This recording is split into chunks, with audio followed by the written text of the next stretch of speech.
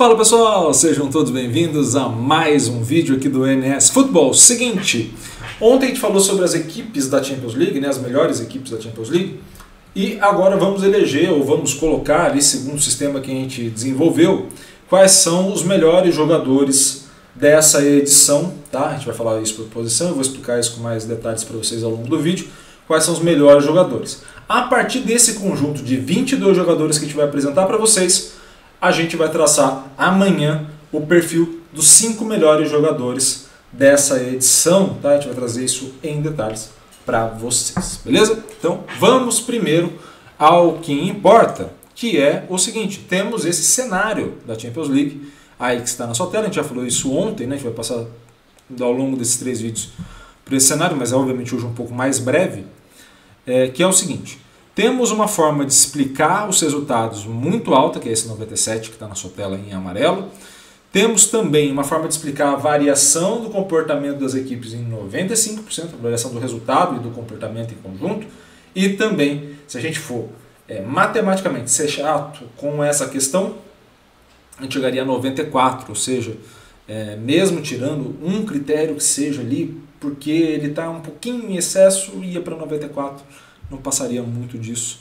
Ou seja, a gente está falando de é, justiça nos critérios, ou seja, são critérios importantes para o jogo, são critérios importantes para a competição e para mostrar quais foram as demandas de jogo que a competição apresentou ao longo dessa edição. E qual é o cenário que a gente pode ver é, nessa competição? Uma importância muito grande da presença da finalização certa ao gol, do chute certo, também da conversão de chute para gol e, é claro, da presença do goleiro. Estou falando dos três principais ali, os outros cada um vão contribuir com seus pesos de maneira diferente. Tá? Isso vai gerar essa escalação que a gente vai ver agora. Como foi produzida a escalação antes da gente ir especificamente para ela, tá? É, como que foi produzida? A gente chegou é, num consenso é, internamente ali, a gente está fazendo esses projetos de coleta e também de organização dos dados em conjunto com o LEP, aqui na FCA Unicamp, e o grande ponto foi é, 50% da temporada mais um, mais um jogo. Então, nesse cenário, a gente tem ali 13 jogos da Champions, então, 13 jogos que aconteceram. É, metade deles seriam 6,5, mais um 7,5. Então, são 7 jogos e meio, pelo menos que esses jogadores tenham que ter completado atuando. Ah, Iago, então, por exemplo, a gente mostrou num vídeo anterior o Jude Bellingham como meio campista, ele vai estar tá aí? Não. Por quê? Porque justamente já não tem mais sete jogos e meio. O Dortmund saiu nas oitavas é, para a equipe do Chelsea, a não ser que ele tivesse jogado todos os jogos, ele não entraria aí. Mas percebam como ficam os melhores jogadores, ficam jogadores que representaram mais, e até tem jogador que esteve até as oitavas mas principalmente para além de estar ou não nas oitavas, ele teve que ter um alto grau de participação. Não pode ter sido um jogador, por exemplo, que tenha feito uma grande partida e não tenha participado mais dos jogos. Então foi um jogador, foram jogadores que tiveram uma constância maior e ficaram mais tempo aqui nessa análise, tá? Então esse é o primeiro ponto. Além disso, sobre é, as opções por vamos por, por esquema de jogo, né? As opções foram basicamente seguir o modelo que o Guardiola colocou. Então vocês vão ver já na tela, vou colocar aqui a primeira equipe, tá? A equipe com o overall mais alto entre todos os possíveis, tá? A melhor equipe, que é essa que está na tela. Você pode ver que a gente está espelhando a forma que o Guardiola joga num WM, tá? Então, três zagueiros, quatro meio-campistas num, num retângulo e três jogadores espetados um pouco mais à frente, tá? Dois pontas mais um centralizado. Então, como que foi feito o processo de seleção? Goleiro, obviamente, o melhor goleiro da posição, os três zagueiros, os três melhores defensores, e aí foi é, para defensor né, e para lateral, né, principalmente que não tem nenhum lateral de fato aí, é, o que, que a gente utilizou? O lateral podia entrar tanto na defesa Caso, por exemplo, do Pavar, é, do, do Bayern de Munique, né, que é um lateral que também joga como zagueiro. O próprio Éder Militão também faz um pouco isso, é, mas não no Real Madrid. É, quanto também a gente poderia colocar o caso do Dumfries, que joga é, mais avançado, por exemplo, a gente poderia ter colocado no lugar do João Mário.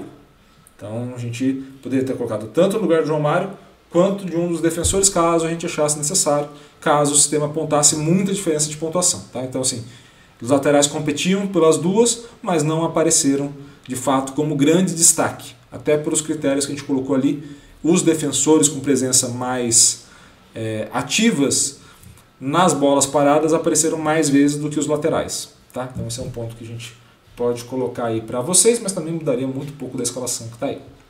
Então, vamos à primeira, primeiro nome dessa lista, que é o Courtois. Então, a gente está olhando para um Courtois que, como a gente falou ontem no vídeo, é o melhor goleiro da competição. Ah, Iago, mas o Onaná chegou na final. Pô, mas o Ederson teve uma história linda. É, a função do jornalismo é contar histórias. É contar emoções, é contar coisas que estão transcendendo a análise de maneira pura. É, e tá tudo bem, tá? faz parte da função e é muito válido, é muito importante o que eles fazem. Mas, numericamente, o Courtois foi o melhor goleiro dessa competição. O Real Madrid poderia ter caído muito antes, poderia ter feito uma temporada muito pior do que foi feita, é, se não fosse o Courtois. Tá? Então, assim, é bem, é bem importante lembrar disso na hora que a gente for analisar a equipe do Real Madrid. Numa linha de três zagueiros, né, seguindo aí esse modelo do Guardiola, né, essa organização Guardiola apresenta para a gente como base, porque foi a equipe campeã. Ah, e algo se fosse a Inter? Uma linha de três, cinco no meio campo e dois atacantes. Basicamente seria assim. Éder Militão, Rubem Dias e Antônio Silva do Benfica. Então aqui a gente já tem é, talvez uma primeira surpresa, mas esse menino aqui, que é muito novo, é, vem atuando muito bem pela equipe do Benfica. No nosso meio-campo teríamos o Rodri, autor do gol da final, tá, acho que nenhuma surpresa. Barella, também acredito que nenhuma surpresa, né? Mkhitaryan, que foi uma opção ali, mas fez grandes jogos contra o Milan na semifinal. E o Kamada, jogador japonês do Eintracht Frankfurt, é, que está indo para o Milan. Né? O Kamada teve aí, é, foi especulado na janela de meio, é, de meio, de meio de temporada, né? não de meio de ano, de meio de temporada no Manchester City e agora foi para o Milan em definitivo. Tá? No trio de ataque, o Vini Júnior foi o melhor, foi o melhor ponta, né? ele e aí você tem o João Mário que jogou de ponta muitas vezes nessa temporada, ou de ponta ou mais centralizado, mas maioria das vezes, é, segundo os sites que a gente viu, jogou pela ponta. E Haaland, o que não é nenhuma surpresa para vocês, como o melhor centroavante da competição. Tá? E aí, para que não tenha apenas um goleiro, é, ou apenas um centroavante para disputar os cinco melhores, né, que a gente pega só daí, né, a gente colocou uma seleção B, né? quem seriam os nossos 22 né? É, jogadores a entrarem nessa seleção. E aí teríamos nessa seleção é, o Naná, o que também acho que não seja nenhuma surpresa para vocês, ele também foi muito bem de fato, tá? A contagem das histórias que a gente falou da mídia não é uma mentira, mas é que às vezes a gente vai romantizar muito mais um lado e muito menos outro. Na linha de três defensores, a gente pode começar pelo Stones, grande destaque. E aqui, é, dentro do sistema que a gente tem, a gente, coloca, a gente pode colocar o Stones tanto de defensor quanto de meio, mas aqui de defensor ele já apareceria, então a gente deixou ele aqui. Van Dijk e Rudger, ah, só um adendo. Lembrando que o Stones esteve como defensor durante grande parte da temporada. Tá? Essa implementação dele é, no meio-campo começa depois da saída do Cancelo. Lembre-se disso antes do Cancelo, ele era disputava como zagueiro. Tá? Então, vale a pena ressaltar essa parte. John Stones, Van Dijk e Rudiger. Van Dijk fez uma boa temporada, o Liverpool vinha fazendo uma boa Champions League, apesar de não fazer uma grande temporada como um todo. Tá? Krunic, do, do Milan, Rafa Silva, Bernardo Silva, do City e Luka Modric, do Real Madrid. Então temos um semifinalista aqui, outro semifinalista, um campeão e de novo a presença do Benfica que a gente viu que estava ali entre as cinco melhores equipes da competição. Já coloco o terceiro jogador entre os 22 aqui melhores. Numa ponta direita temos o Rodrigo do Real Madrid, também acho que nenhuma surpresa para vocês. É, Kvaratskhelia do Napoli, né, o Kivara do Napoli. Né? Lá ele, né, como diria André Henry. É, o Kivara do Napoli. E, para finalizar, o Giroud como o segundo centroavante. E, ah, e o Benzema, terceiro centroavante. Tá? Então gente deixou aí duas equipes. Se fosse montar uma terceira, Benzema apareceria. Tá? Então, fechamos essa primeira parte. Esses são os 22 jogadores da Champions League. Vou voltar aqui para vocês para a gente encerrar o vídeo com é, esta última imagem, né, que são os 11 principais jogadores. Como vai funcionar o vídeo de amanhã, que são a seleção dos 5 melhores jogadores da competição.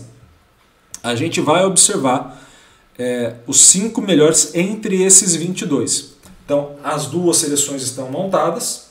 Então, temos os 11 titulares e, entre aspas, os 11 reservas.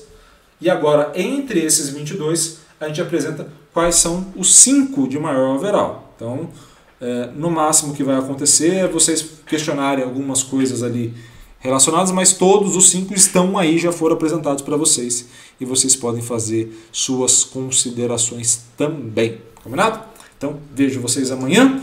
Obrigado pelo carinho e audiência com esse projeto e principalmente na repercussão da final da Champions League. Fiquei muito feliz é, com as coisas aqui no canal e até porque a gente acertou também a final. Faz parte. A gente de vez em quando tem que comemorar uns acertos.